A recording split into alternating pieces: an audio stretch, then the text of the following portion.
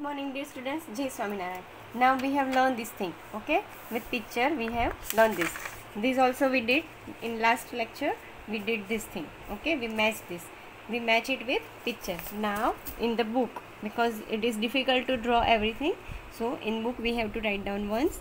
That is, first uh, give title. First mention the date 2 9 29 10 20 CW homes of animals okay title homes of animals now what is this first we will read out the spellings birds cow dog horse lion and rabbit okay now hutch den nest kennel shed and stable okay now read this spelling carefully shed s h e d shed and s t a b l e stable stable means homes of किसका ये stable means stable is home of horse and shed is home of cow okay?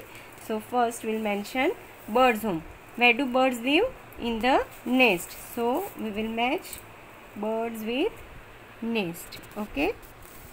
Okay now cow. Cow lives in a what is this? Shed. And this is stable. So we will match cow with shed. What is this? Dog. Dog lives in a where do dogs live? In the kennel so we will match it with kennel where do horse live?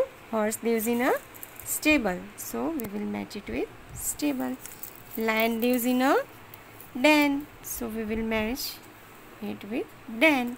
And finally rabbit lives in a hutch. So we will match it with hutch. Okay? This you have to write down in your book in good handwriting. Thank you. Jai swaminarayan